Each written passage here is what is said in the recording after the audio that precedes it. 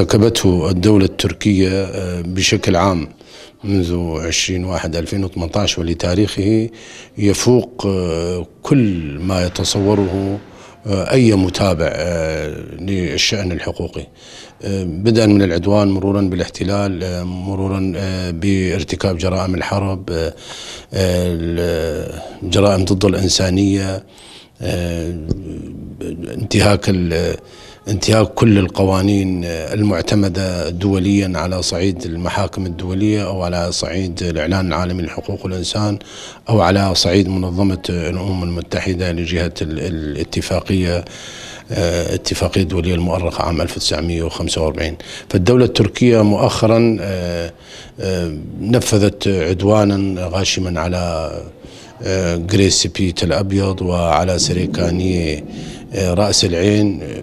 وتحديدا بين هاتين المدينتين ارتكبت ارتكبت الدولة التركية جرائم بشعة بحق المدنيين وبحق الممتلكات الخاصة والممتلكات العامة.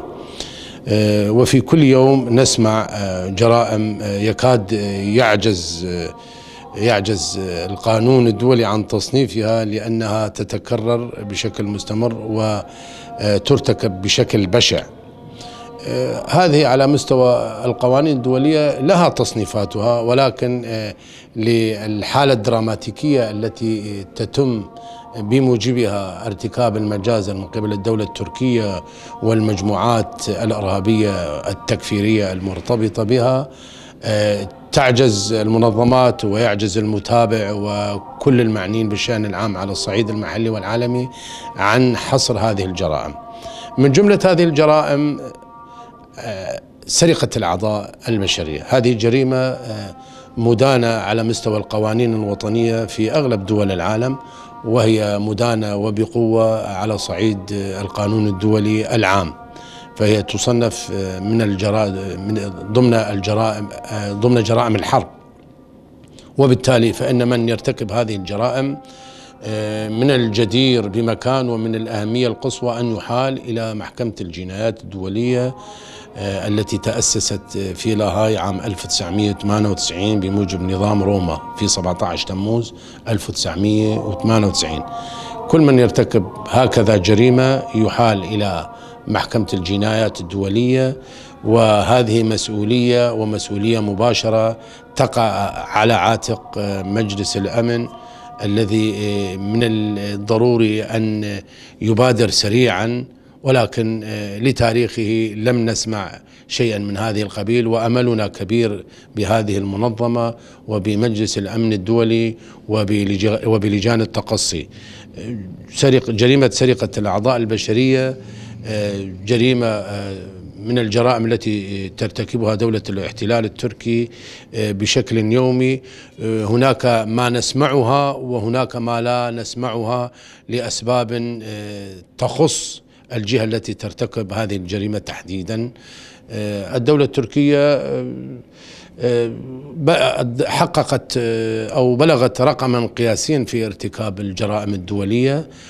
لم تبقى جريمة مصنفة في القوانين الدولية سواء القانون الدولي العام أو سواء أو القانون الدولي الإنساني إلا وارتكبتها وترتكبها يوميا وب وبالاعتماد وبالاعتماد وبتوكيل بالاعتماد على المجموعات الارهابيه المرتبطة بها وبتوكيلها لتنفيذ هذه الجرائم حتى أن الكثيرين الكثيرين من أفراد جيشها ينخرطون ضمن صفوف هؤلاء بعد أن يعجزون يعجزون عن الأداء عن أداء المجموعات التي يعتمدون عليها يتدخلون مباشرة لتنفيذ الفصول المتبقية من تنفيذ هذه الجريمة، كما تعلمون الدولة التركية هي دولة راعية للإرهاب، دولة مؤسسة للإرهاب، كل ما يحصل من إرهاب على الصعيد المحلي على صعيد الشرق الأوسط أو على الصعيد العالمي الدولة التركية هي التي تقف وراء هذا الإرهاب. القانون الدولي الإنساني يعاقب على هذه الجريمة تحديدا ويعتبرها من جرائم الحرب. والعقوبة العقوبة هي اعتقال وسجن كل من ارتكب هذه الجريمة سواء ارتكبها بالفعل مباشرة أو بالتدخل أو بالشراكة. العقوبة بالنسبة لهؤلاء جميعا واحدة لا فرق بين الفاعل والشريك والمتدخل. العقوبة هي الاعتقال والسجن. آه، المؤبد. فمن ففي هذه اللحظة التي آه، ندلي بها بهذا الحديث آه، نناشد آه، المجتمع الدولي الحر المجتمع الدولي الرسمي كافة المؤسسات والمنظمات الحقوقية نناشد المدعي العام في محكمة الجنايات الدولية نناشد الأمين العام السيد أنطونيو غوتيريش نناشد مجلس حقوق الإنسان نناشد لجان التقصي تقصي الحقائق أن يقفوا أمام مسؤولياتهم ويقوموا بمسؤولياتهم وواجباتهم. واملنا كبير بذلك لأننا لا نعتقد بأن هؤلاء هؤلاء لا يتابعهم أحد أو أن النظام العالمي مسيب.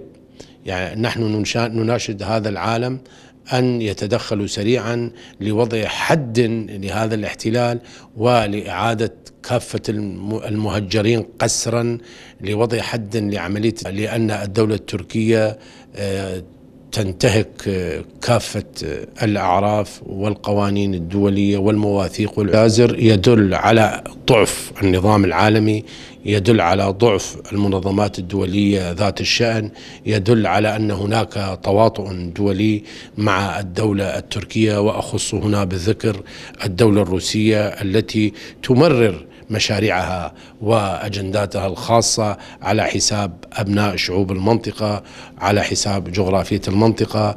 فنحن كمتابعين أنا شخصيا كمتابع آه، أرى آه، تناقضات كثيرة. يعني المجموعات المسلحة تمارس الإرهاب على مسافة على مسافة آه، أقل من نصف كيلومتر أو 500 متر روسية. بوجودها العسكري تتغاضى عن هكذا عن هكذا انتهاكات. فمن من واجبها كدولة تسمي نفسها بأنها ضامية وراعية للاتفاق المعقود بينها وبين آه، الدولة التركية أن تقف أن تقف كسد منيع أمام هذا التمدد.